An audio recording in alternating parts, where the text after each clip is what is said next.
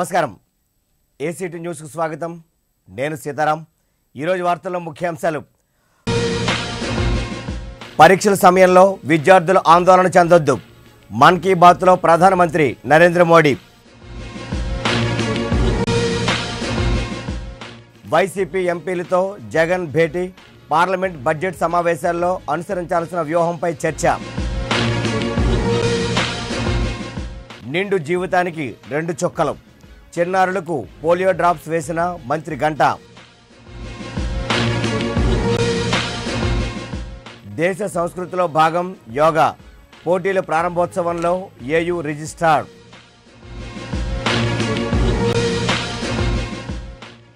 Private రంగంలోనూ రిజర్వేషన్లు అమలు చేయాలి.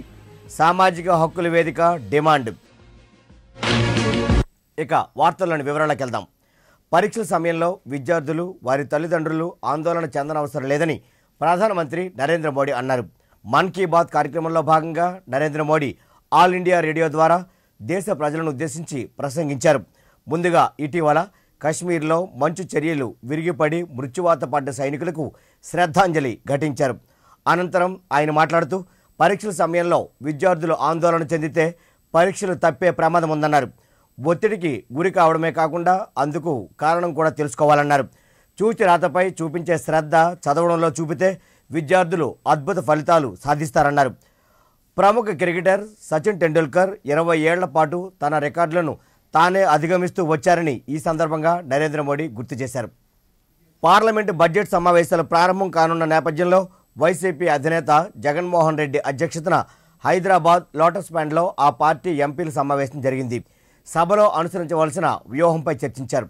ఆంధ్రప్రదేశ్ ప్రత్యేక హోదా పోలవరం ప్రాజెక్టు సత్వర పూర్తి ఇతర కీలక అంశాలపై పార్లమెంట్లో గళం వెప్పాలని అందుకోసం జాతీయ పార్టీల మద్దతు కూడగట్టాలని కూడా నిర్ణయించినట్లు సమాచారం.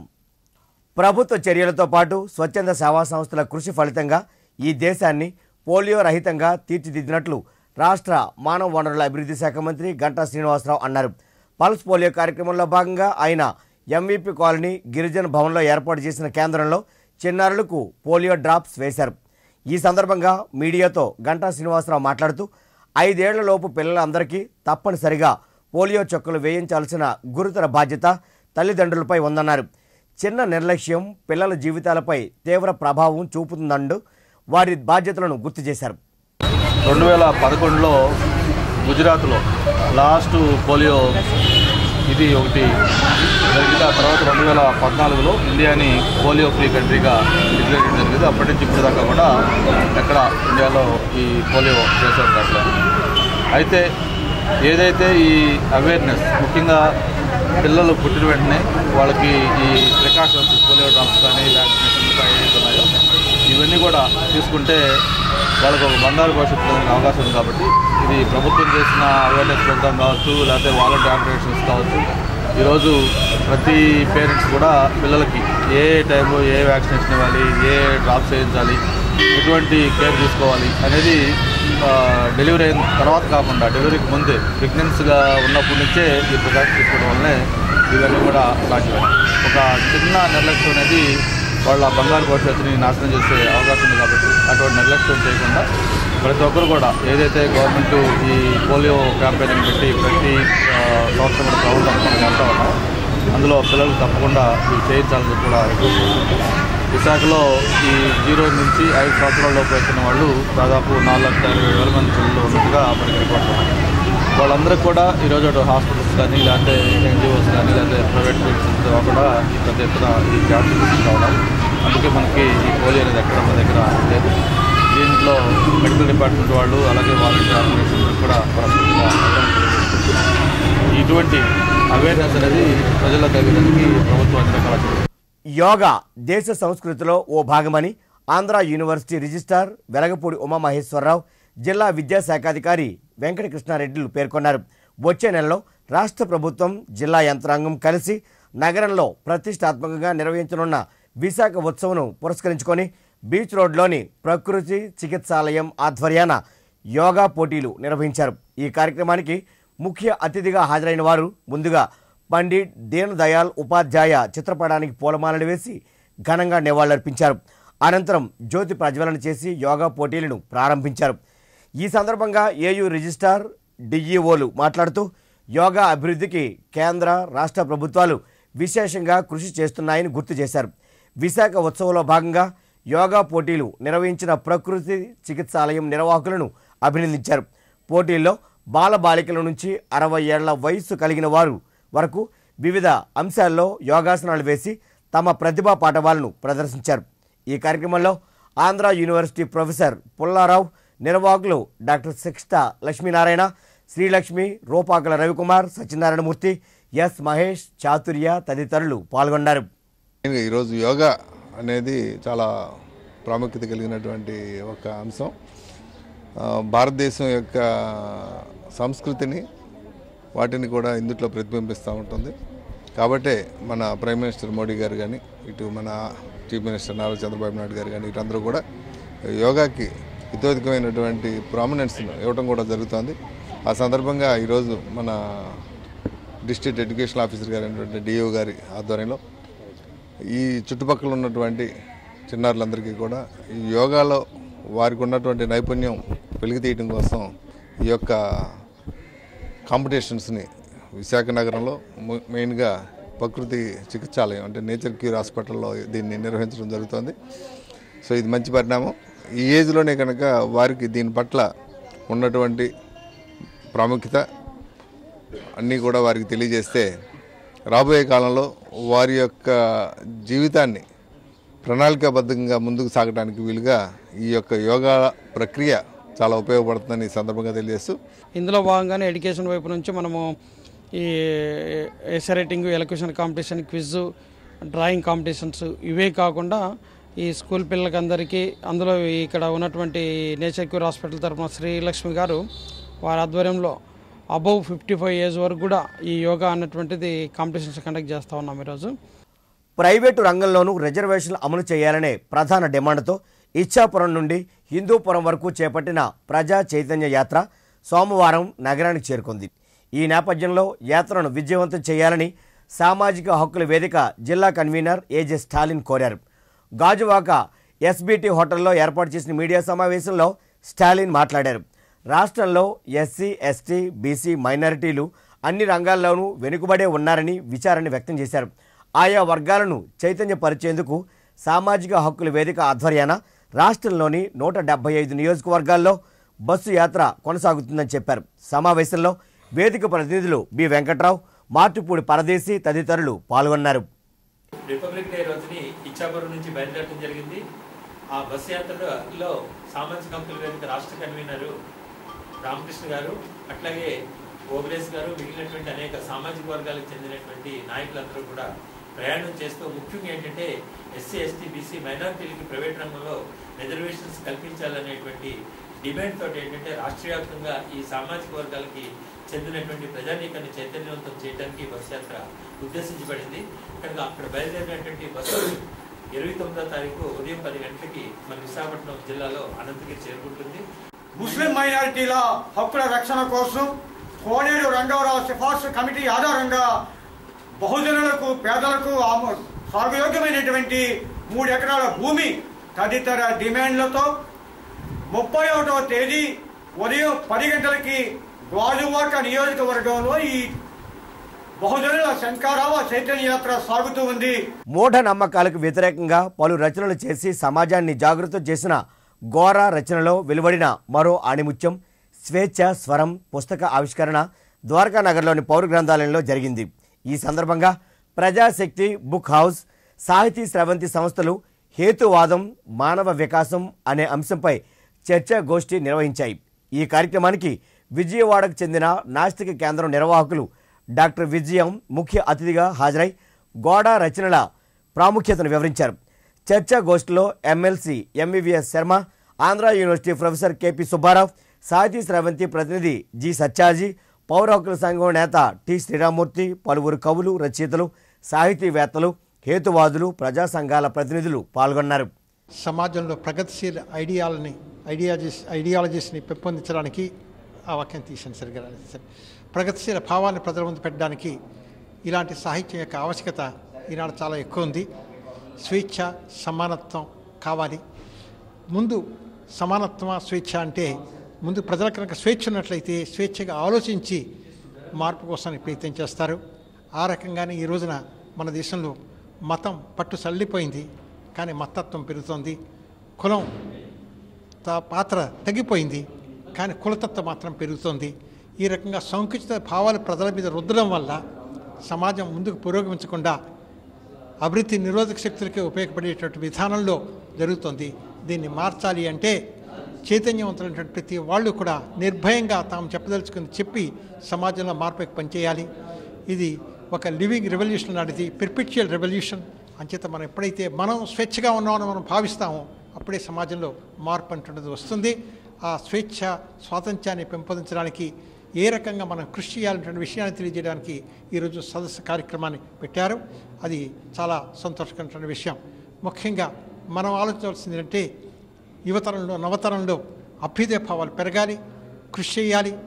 లేకపోయినట్లయితే మత శక్తులు ప్రత్యక్ష శక్తులు బలపడిపోయి దేశం యొక్క భవిష్యత్తు నిర్వీర్యమైపోయేటువంటి ప్రమాదం ఉంది కాబట్టి ప్రతి ఒక్కళ్ళు కూడా ఆలోచించి ప్రజాస్వామ్యంలో ప్రజలే ప్రభువులు. ఇప్పుడొక వాణిజ్య వార్త. అద్భుతమైన వేగం నమ్మశక్యం కాని అనుభవం. టెన్ ఎంబీపీఎస్ ఐదు వందల నలభై తొమ్మిది రూపాయలకే ఫిఫ్టీన్ ఎంబీపీఎస్ ఏడు వందల తొంభై తొమ్మిది రూపాయలకే థర్టీ ఎంబీపీఎస్ తొమ్మిది వందల తొంభై తొమ్మిది రూపాయలకే ఫిఫ్టీ ఎంబీపీఎస్ పద్నాలుగు వందల తొంభై తొమ్మిది రూపాయలకే ఆరు నెలలు ముందుగా చెల్లించండి. వైఫై రూటర్ లేదా ఒక నెల ఉచితంగా పొందండి. పన్నెండు నెలలు ముందుగా చెల్లించండి. రెండు నెలలు ఉచితం లేదా వైఫై రూటర్ ఉచితంగా పొందండి. మరియు ప్రతి నెల ట్వంటీ ఫైవ్ జీబీ అదనంగా పొందండి. మరిన్ని వివరములకు కాల్ చేయండి. AP fibre net phone zero eight nine one four two eight four triple zero తిరిగి వార్తల్లోకి. పల్స్ పోలియో కార్యక్రమంలో భాగంగా గోపాలపట్నంలోని ముప్పై పడకల ప్రభుత్వ ఆసుపత్రిలో పశ్చిమ నియోజకవర్గం శాసనసభ్యులు పెతకంశెట్టి గణబాబు ఐదేళ్ళ లోపు చిన్నారులకు పోలియో చుక్కలు వేశారు. ఈ సందర్భంగా గణబాబు మాట్లాడుతూ పోలియో నిర్మూలనకు ప్రతి ఒక్కరూ అవగాహన పెంచుకున్నారని పేర్కొన్నారు. జిల్లాలోని అన్ని ఏరియాల్లో పోలియో కేంద్రాలు విరివిగా ఏర్పాటు చేశామన్నారు. ఏడాదిలో రెండుసార్లు ఐదేళ్ళ లోపు వయసు ఉన్న పిల్లలందరికీ పోలియో చుక్కలు వేయించినట్లయితే వారికి నిండు జీవితాన్ని ప్రసాదించిన వారం అవుతామని వెల్లడించారు. జరిగేటువంటి కార్యక్రమం రాష్ట్రంలో అయితే పోలియో బారిన పడినటువంటి పరిస్థితులు పూర్తిగా హండ్రెడ్ పర్సెంట్ లేకుండా చేయగలిగారు. ఇది ఒక మ్యాసివ్ ప్రోగ్రామ్ కింద గవర్నమెంట్ ప్రజల్లో ఒక చైతన్యాన్ని తీసుకొని రాగలిగారు. ఒకప్పుడు చాలా ఇబ్బందులు పడుతూ ఉండేవాళ్ళం. ఈరోజు ప్రతి ఒక్కరు స్వచ్ఛందంగా పిల్లల్ని పోలియో డేట్స్లో ప్రతి ప్రచారం చేసి వీళ్ళందరికీ కూడా బారిన పడకుండా ఉండేటువంటి చర్యలు తీసుకున్నారు. అందులో భాగంగా కార్యక్రమాలు చేయడం ఇప్పుడు మన గోపాలపట్నంలో అయితే ఈ వైద్య సెంటర్ కూడా ఒకటి లాంఛనంగా ప్రారంభమైంది. అధికారికంగా లక్ష్మీనార్లో త్వరలో ప్రారంభం కాబోతాం. ఆటోలో ఒంటరిగా ప్రయాణిస్తున్న యువతిపై ఆటో డ్రైవర్ అత్యాచార యత్నానికి పాల్పడిన ఘటన పెందుర్తి పోలీస్ స్టేషన్ పరిధిలో చోటు చేసుకుంది. వివరాల్లోకి వెళితే వేపగుంట నుండి చేమలాపల్లికి ఓ యువతి షేర్ ఆటోలో బయలుదేరింది. ఆటోలో యువతి ఒంటరిగా ఉండడాన్ని గమనించిన ఆటో డ్రైవర్ వాహనాన్ని స్థానికంగా ఉన్న మామిడి తోటలోకి తీసుకెళ్ళాడు. ఆమెపై అత్యాచార యత్నానికి ఒడిగట్టాడు. అతనితో పెనుగులాడి తప్పించుకొని ఇంటికెళ్ళి జరిగిన విషయాన్ని తల్లిదండ్రులు తెలిపింది ఆమె. కుటుంబ సభ్యులతో కలిసి స్థానిక పోలీస్ స్టేషన్లో ఫిర్యాదు చేశారు. ఆటో డ్రైవర్ పరారీలో ఉన్నాడు.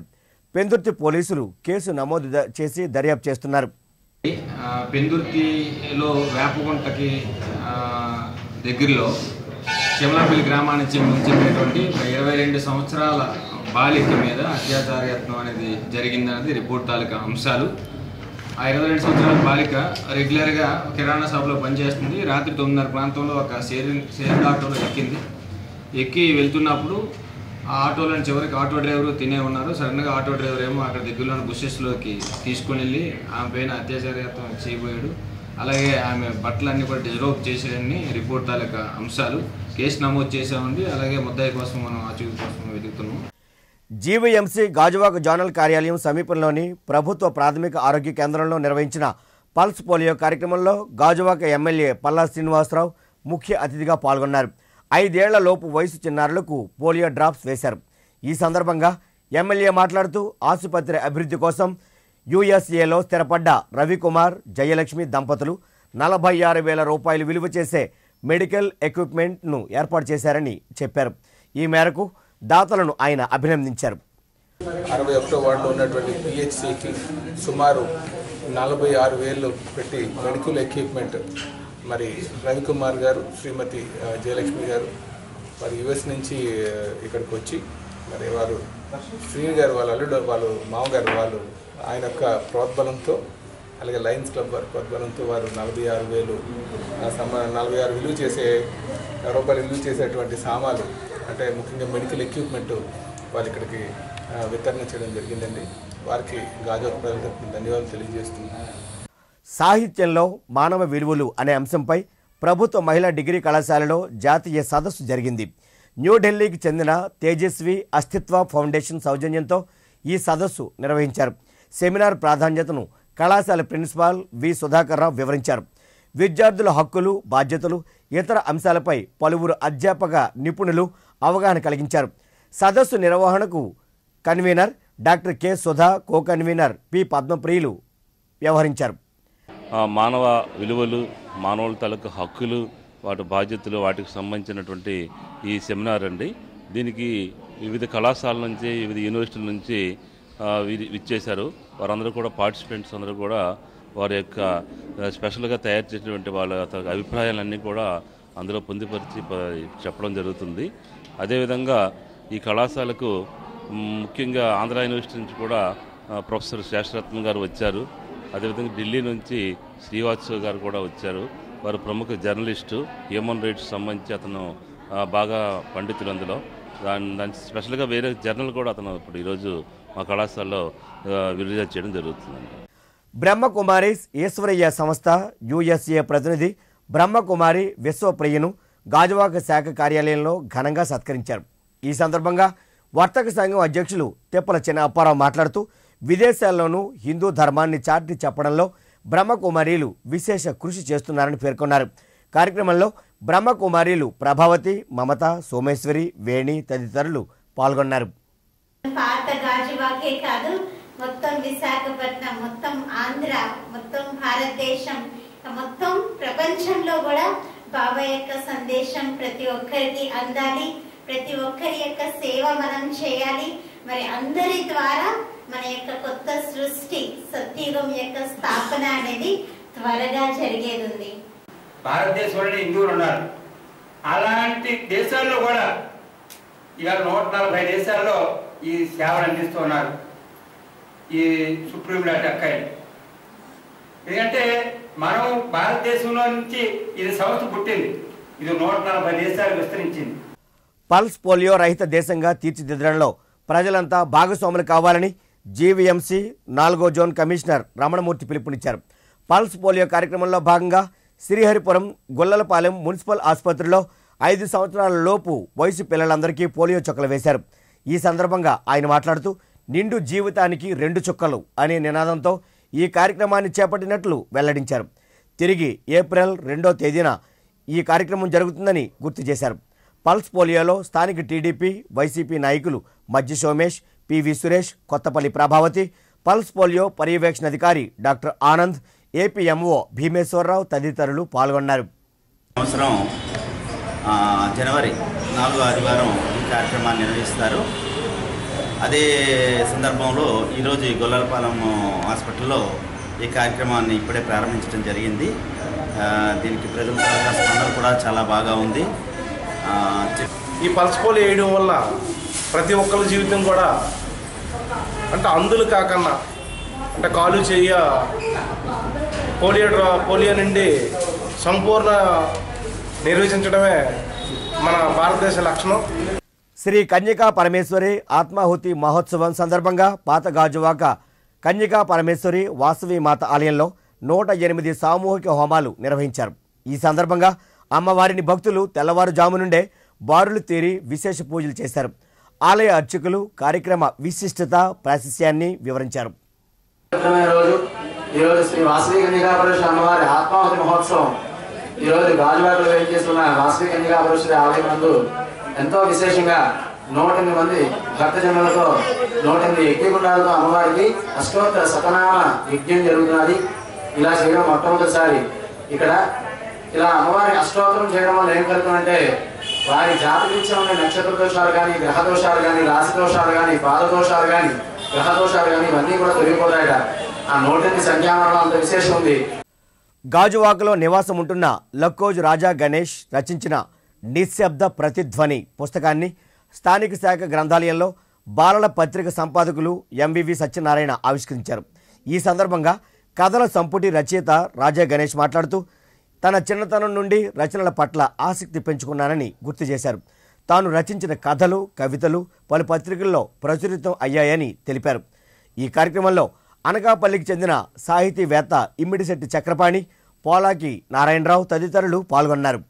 రచనలు ప్రారంభించి ఈరోజు నేను రాసిన కథల్లో చాలా అంతర్లీనంగా నేను పెట్టిన భేదం చాలా ఉంది.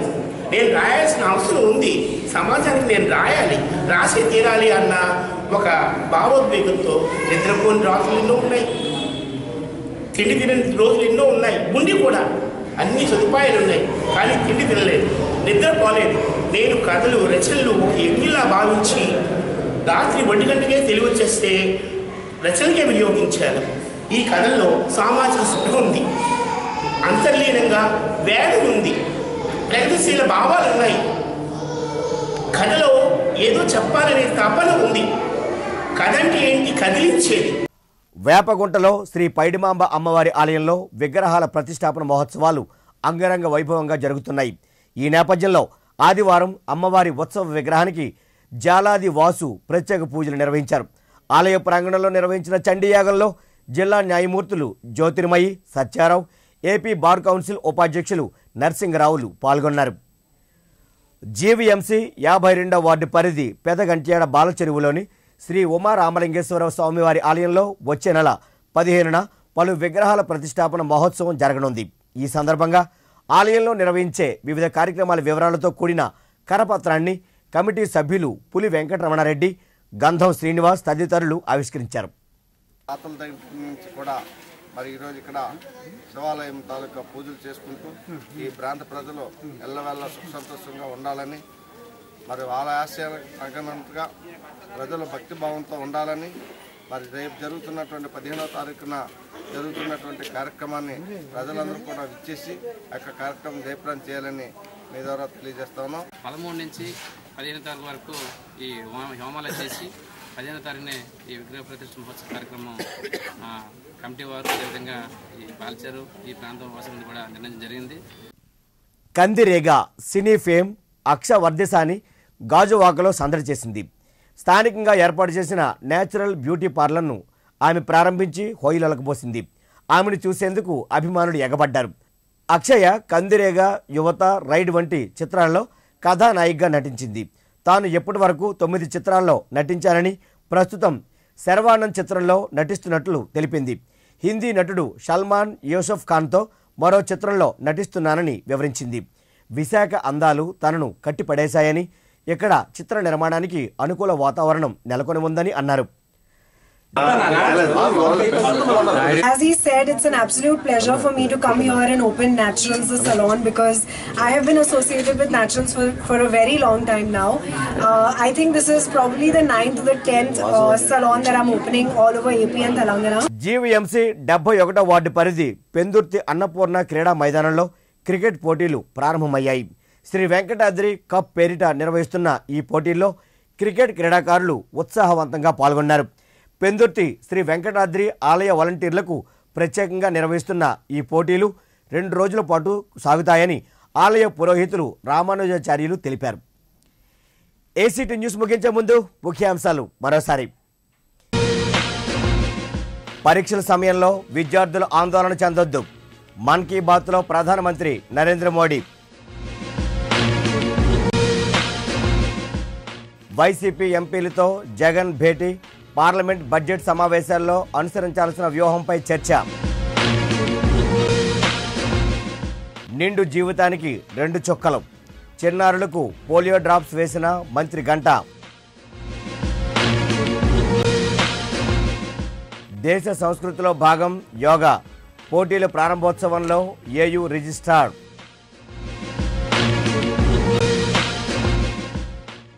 ప్రైవేటు రంగంలోనూ రిజర్వేషన్లు అమలు చేయాలి. సామాజిక హక్కుల వేదిక డిమాండ్. ఈ వార్తలు ఇంతటితో సమాప్తం. నమస్కారం.